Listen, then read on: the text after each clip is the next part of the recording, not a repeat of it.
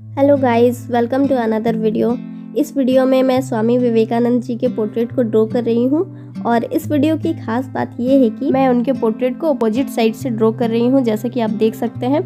और first time मैं oil pastel colour से ऐसे ड्राइंग ट्राई कर रही हूँ। इससे पहले मैंने जवाहरलाल नेहरू जी का पोर्ट्रेट बनाया था बोर्ड में, जो आप लोग को बहुत पसंद आया था। आप देख सकते हैं लिंक मैंने डिस्क्रिप्शन में दे दिया है। और इस पोर्ट्रेट को ड्रॉ करने के लिए मैं डॉम्स के ऑयल पेस्टल कलर को यूज़ कर रही हूँ। और ब्लेंड करने के लिए मैंने किसी टूल को यूज़ नहीं किया है। आप चाहे तो कॉटन बड या ब्लेंडिंग स्टम्प को यूज़ कर सकते हैं। इस पोर्ट्रेट को ड्रॉ करने के लिए मुझे लगभग एक घंटे का समय लगा। तो मैं चाहती हूँ कि आप भी ड्रॉ करें। और मुझे कमेंट करके बताएँ कि आपने कितने समय में इस पोर्ट्रेट को पूरा किया। आपके प्यारे प्यारे कमेंट्स को देखकर मुझे बहुत खुशी होगी।